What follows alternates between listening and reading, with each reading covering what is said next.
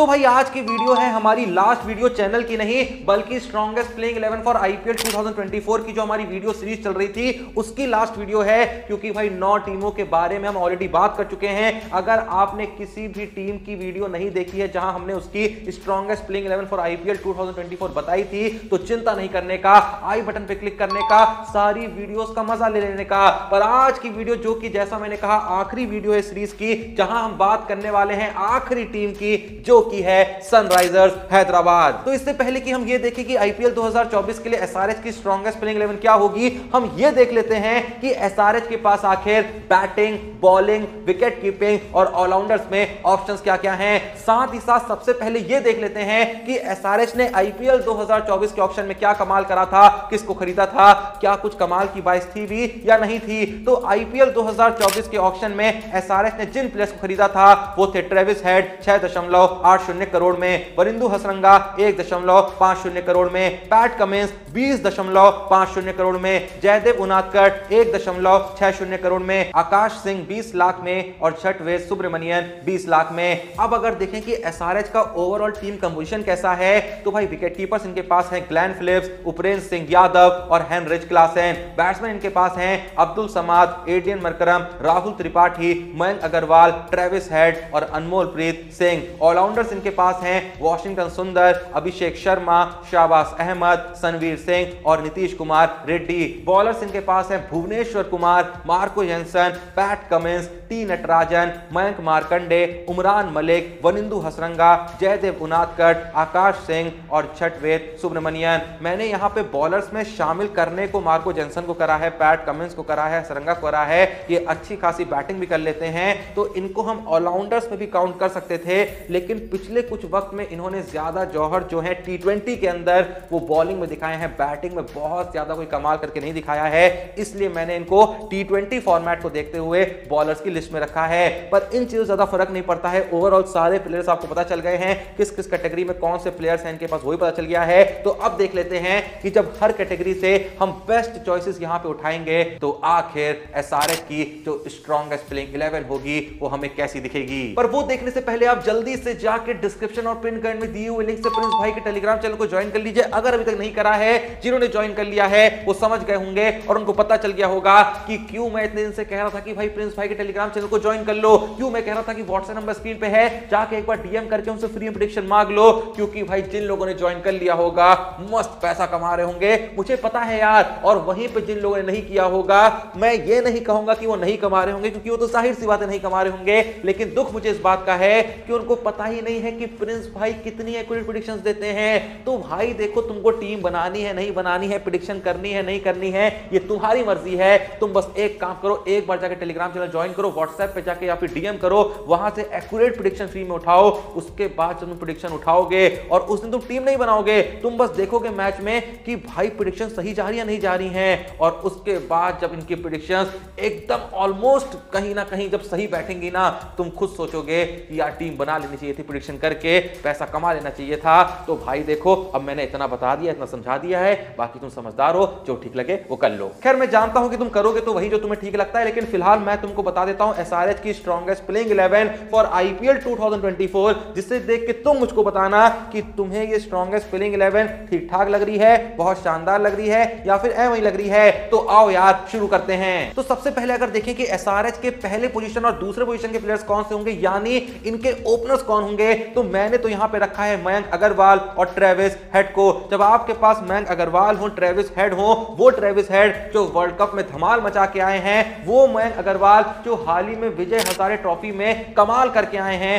मुझे नहीं लगता कि इनसे बेहतर ओपनिंग चॉइस एसआरएच के लिए कोई और हो सकती है। इससे आगे बढ़े तो फ़र्स्ट डाउन पे मैंने रखा है राहुल त्रिपाठी को, जो पिछले कई साल से फ़र्स्ट डाउन पे कमाल करते हुए आ रहे हैं। इंडियन टीम में भी बीच में खेलने का मौका मिला था, उसके बाद फॉर्म थोड़ा सा डाउन ज़रूर गया है, लेकिन भाई बात जब टी की आएगी तो बंदा रन तो मार ही देगा, ये हम सब जानते हैं। इससे आगे बढ़े तो चौथे नंबर पे मैंने रखा है साउथ अफ्रीका के कैप्टन और सेम टाइम पे एसआरएच के भी कैप्टन एडियन मरकरम को। अभी तक देखो ऑफिशियली ये कंफर्म नहीं हुआ है कि आईपीएल 2024 में मरकरम ही होंगे, जो एसआरएच की कप्तानी करेंगे, क्योंकि पैट कमिंस के आने के बाद से बहुत लोग ये कह रहे थे कि कमिंस जो है वो एसआरएच के कैप्टन भी बन सकते हैं, इसीलिए उन पे इतना ज़्यादा पैसा लुटाया गया है। लेकिन भाई, मुझे लगता है कि कैप्टन तो मरक्रम ही होंगे। हाँ ठीक है, कमिंस ने पिछले कुछ वक्त में बहुत कुछ जिताया है, लेकिन भाई, उसके पीछे ज़्यादा काबिलियत मुझको टीम की लगती है, कैप्टन की थोड़ी सी कम लगती है। और मैंने अक्सर देखा है कि ऑस्ट्रेलिया में जब कप्तानी कर भी रहे होते हैं ना तो पैट कमिंस बहुत कम करते हैं। स्मिथ वगैरह ज़्यादा कर रहे होते हैं, वॉर्नर वगैरह ज़्यादा कर रहे होते हैं, सारे इंस्ट्रक्शन वही दे रहे होते हैं। कमिंस ना के बराबर काम करते हैं। और ये बात कमिंस ने खुद कई सारे इंटरव्यूज़ में कही है। मैं उन लोगों में से नहीं हूँ जो ये कहता हूँ कि कैप्टन कुछ नहीं करता है। टीम में बहुत बड़ा रोल होता है। कैप्टन का कैप्टन ही टीम बना सकता है। कैप्टन ही टीम बर्बाद कर सकता है। मैं बस ये कहना चाह रहा हूँ कि ऑस्ट्रेलिया को जो सक्सेस मिली है, उसके पीछे कमिंस की कैप्टनसी का रोल बहुत कम रहा है, क्योंकि कमिंस ने कप्तानी ही बहुत कम कर रखी है। रहते कप्तान पूरे मैच में है, लेकिन कप्तानी का काम वो ज़्यादा नहीं करते हैं। अभी मैंने तुमको बता दिया है ना, आने वाले मैचेस में तुम भी ये बात नोटिस करना। तो खैर मैंने आपको ये बता दिया है कि चौथे नंबर पे आएँगे एडियन मरकरम जो एसआरएच की कप्तानी करते हुए भी दिखेंगे। अब जब कैप्टन की बात आ गई है तो मैं बता दूँ, पाँचवें नंबर पे आएँगे एसआरएच के विकेट कीपर वो प्लेयर जिसने भाई आईपीएल 2023 में और सेम टाइम पे वर्ल्ड कप 2023 में भी फिनिशिंग का काम करते हुए जो कमाल किया ना, हर किसी को चौंका के रख दिया। मैं बात कर रहा हूँ हेनरिच क्लासन की। पांचवी पोजीशन पे हेनरिच क्लासन के आने के बाद छठी पोजीशन की जब बारी आएगी तो वहाँ पे हमने रखा है अब्दुल समाद को। ये देखते हुए कि अब्दुल समाद ज़रूरत पड़े थोड़ा यहाँ पे बॉलिंग करा सकते हैं और बैटिंग में नीचे आके लंबे लंबे छक्के भी लगा सकते हैं। इसीलिए छठी पोजीशन जाएगी अब्दुल समाद के नाम। इससे आगे बढ़े तो आएगा नाम पैट कमिंस का, जो कि भाई हम सब जानते हैं बैटिंग भी कर सकते हैं। वो याद है ना केकेआर के लिए खेलते हुए मुंबई के खिलाफ जो अर्चतक मारा था, भाई पगला के रख दिया था। ऐसा काम वो अब भी कर सकते हैं। इसीलिए सेवन पोजीशन पे आएँगे none other than Pat Cummins eight position पे मैंने दो दो प्लेयरों का ऑप्शन रखा है, वॉशिंगटन सुंदर या फिर शाहबाज अहमद। अगर ज़रूरत हुई राइट हैंड ऑफ़ स्पिनर की तो वॉशिंगटन सुंदर खेल लेंगे। अगर ज़रूरत हुई लेफ़्ट आर्म ऑफ़ स्पिनर की तो शाहबाज अहमद खेल लेंगे। भूलो मत, ये दोनों ही जो बॉलर्स हैं, ये भी अच्छी खासी बैटिंग कर सकते हैं। इसीलिए मैंने सातवीं पोजीशन से ही पैट कमिंस को लाना शुरू कर दिया, क्योंकि आठवें नंबर पे भी चाहे शाहबाज खेलें या फिर चाहे सुंदर खेलें, ये दोनों ही भाई जलवे बिखेर सकते हैं अपनी बैटिंग से भी। अब अगर नज़र डालें कि एसआरएच के आखिरी तीन प्लेयर्स कौन से होंगे? तो भाई ये तीनों के तीनों पेसर्स मैंने रखे हैं। नवे नंबर पे रखा है स्विंग किंग भुवनेश्वर कुमार को, दसवें नंबर पे रखा है उमरान मलिक को और ग्यारहवें नंबर पे रखा है नए नए यॉर्कर किंग टी नटराजन को। मतलब कुल मिला के तुम ये समझ गए होगे बॉलिंग इनकी कमाल की है, खासकर इनके पेसर्स तो कमाल के हैं। ऑप्शंस देखो पैट कमिंस हैं, उमरान मलिक हैं, भुवनेश्वर कुमार हैं और टी नटराजन हैं। स्पिन थोड़ी सी कमज़ोर दिखाई पड़ती है कि भाई अगर वॉशिंगटन सुंदर खेले या फिर शाबाज खेले, ये कोई बहुत कमाल के स्पिनर नहीं है, लेकिन भूलो मत, स्पिन यहाँ पे एडियन मरकरम भी करा लेते हैं, ज़रूरत पड़ी तो अब्दुल समाद भी करा सकते हैं। हाँ बहुत अच्छे स्पिनर्स ये नहीं है, लेकिन भाई जो हैं, यही हैं। होने को स्पिनर वनिंदु हसरंगा है, लेकिन वो ओवरसीज प्लेयर्स हैं। अगर कभी इनको लगा कि ट्रेविस हेड बहुत अच्छा नहीं खेल रहे हैं तो ऊपर किसी इंडियन को खिला के ये हसरंगा को टीम में शामिल कर सकते हैं, क्योंकि हसरंगा भी जो है, वो सिर्फ़ बॉलिंग नहीं कराते हैं, ज़रूरत पड़े तो कमाल की बैटिंग भी कर सकते हैं, पर फ़िलहाल यही मेरी स्ट्रॉन्गेस्ट प्लेइंग इलेवन है। तो यहाँ पे सिंपली अगर मुझे चुनना होगा इंपैक्ट प्लेयर तो मैंने ऑलरेडी सवाल का जवाब दे दिया है कि अगर सुंदर खेलें तो शाबाज हो जाएँगे इंपैक्ट प्लेयर अगर शाबाज खेलें तो सुंदर हो जाएँगे